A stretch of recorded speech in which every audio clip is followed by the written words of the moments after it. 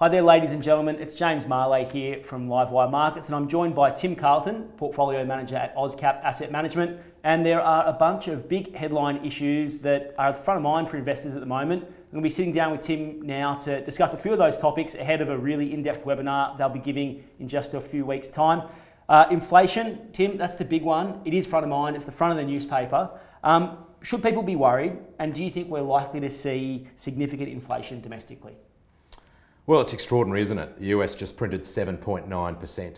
The last time it was that at that level, uh, CDs had just been invented and were being rolled out to the public for the first time. That was 40 years ago. Uh, and we sit here today, even post the recent hike, with a Fed funds rate at 0.5%. Back then, the Fed funds rate was 15%.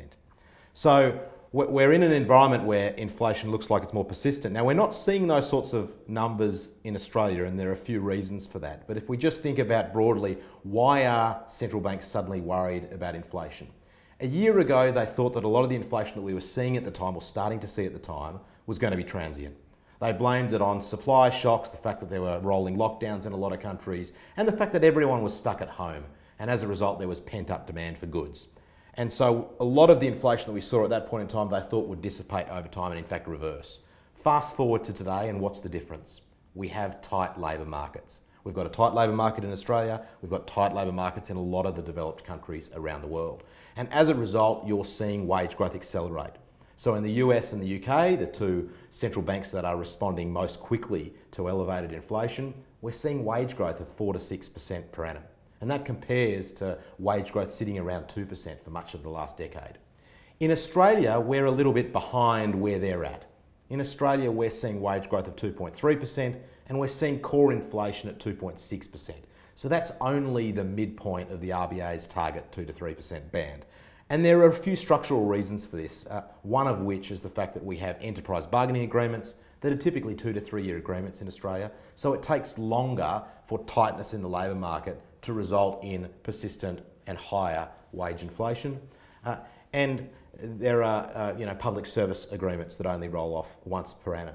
We do think inflation is likely to be forthcoming, um, so we, th we, think we're going to see an acceleration from here, and we think we'll see wage growth continue to trend higher, but, but probably at a slower rate than the US. And as a result, the RBA will be on a slightly different path to uh, the Federal Reserve or the Bank of England.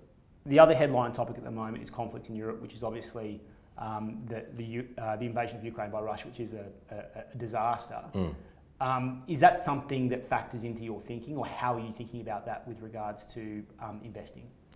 Oh, to be honest, first and foremost, you know, I guess our, our thoughts and prayers are, are with everyone, every innocent uh, party that's affected by that situation. Um, if we look at it purely from a, a markets and economics perspective, um, Russia's GDP is about 1.6% of global GDP. It's only a fraction bigger than Australia, despite the big population difference. Australia's about 1.4%.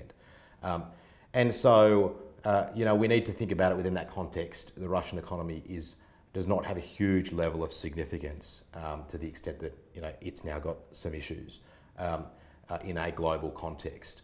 Probably the main impact, impact is what happens to some of their key exports, and in some respects, there are some parallels with um, the deterioration in the Australia-China relationship uh, a year ago, in that China stopped importing a lot of products that were produced domestically, with one exception being iron ore.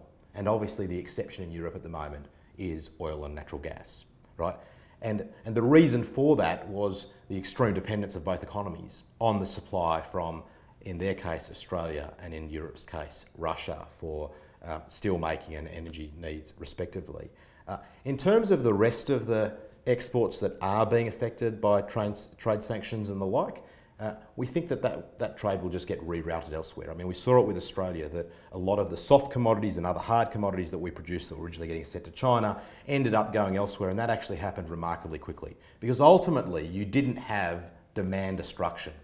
So China still needed to import the same amount of wheat, they just got it from elsewhere. And as a result, elsewhere there was suddenly a shortage and Australia filled in those gaps, right? So you had a rerouting of trade um, and probably higher transportation costs, but ultimately the product still found its end demand. And we suspect the same will be the case with Russia. You'll, you'll see a drop in the demand from uh, developed countries, that will probably be picked up at a discount by a lot of emerging countries. And again, so you'll see a, a change in trade flows. Probably the bigger impact is potentially um, what's happening to Ukrainian exports.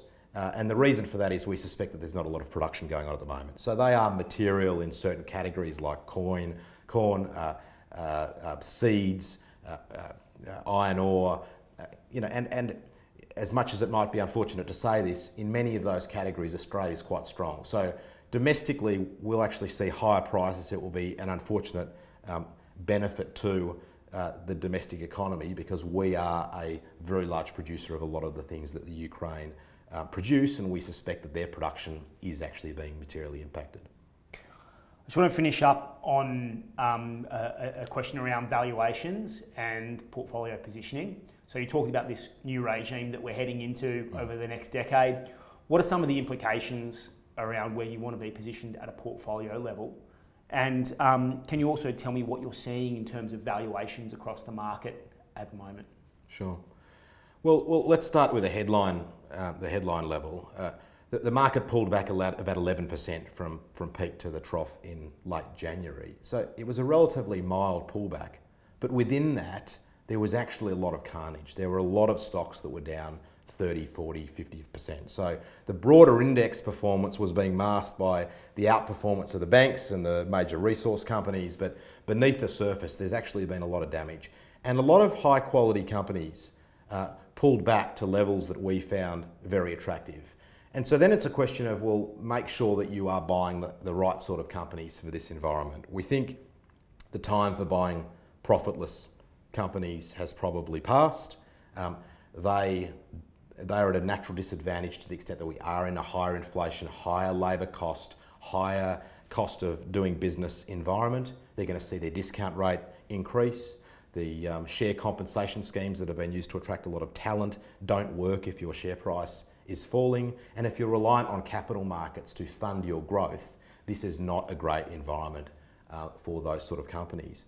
By contrast, a lot of market leaders that are very profitable will actually do very well in an inflationary environment because they actually have the most efficient supply chains, they have the lowest costs of doing business. So, to the extent that inflationary pressures, whether it's supply chain issues, whether it's higher labour costs, impact every player in a category, the, the best in breed businesses will actually have an opportunity to expand their margins over time.